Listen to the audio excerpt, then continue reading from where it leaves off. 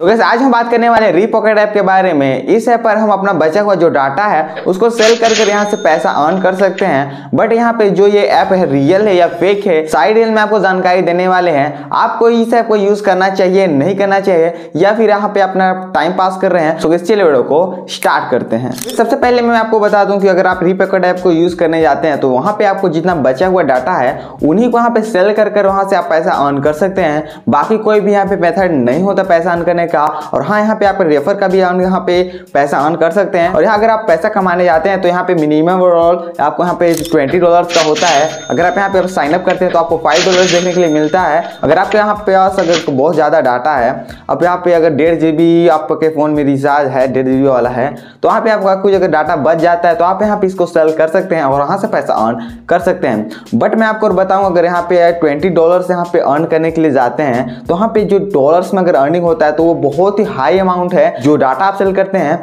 उसका बहुत कम ही प्राइस देखने के लिए यहाँ पे मिलता है। ज़्यादा हाई अमाउंट आप कहाँ पे बोल सकते हैं तो नहीं देखने के लिए मिलता। है यहाँ पे ऐसा भी नहीं है कि डायरेक्टली आप यहाँ पे एक डिवाइस से अनलिमिटेड डाटा शेयर कर दे यहाँ पे आपको अपने डिवाइस में ऑन कर जो सेटिंग्स है, उनको ऑन करके रखना पड़ता है। और वहाँ से जो आपका जो डाटा है, वो धीरे धीरे जाकर वहाँ पे सेल होते रहता है। जो ऐप है, अपने यूज़ के हिसाब से उसको लेते रहता है, और उसका लास्ट में आपको पेमेंट करता है। जो इस टाइप से जितने भी ऐप होते हैं, वो रियल होते हैं यहाँ पे जो उसका पेमेंट होता है, वो डेफिनेटली जो होता है, अगर यहाँ पे जो ट्वेंटी डॉलर का जो अचीवमेंट है, वो बहुत ही बड़ा हो जाता है। यहाँ पे डॉलर में अगर मान लिया अगर रुपीज़ में होता तो आप यहाँ पे इजिली कर लेते। बट यहाँ पे जो डॉलर में अर्निंग होता है तो वहाँ से आप उसको नहीं कर पाते।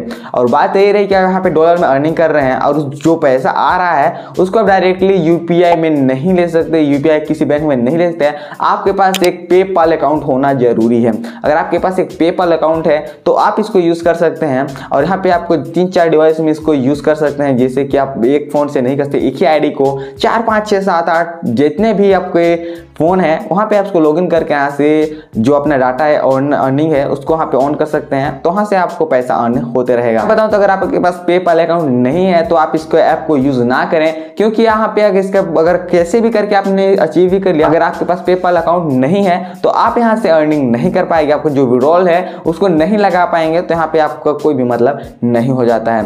तो इसको आप अपने हिसाब से देख सकते हैं, आपको इसको यूज़ करना चाहिए, नहीं करना चाहिए। अगर मैं बताऊँ तो अगर आपके पास एक पेपाल अकाउंट है तो आप इसको डेफिनेटली यूज़ कर सकते हैं।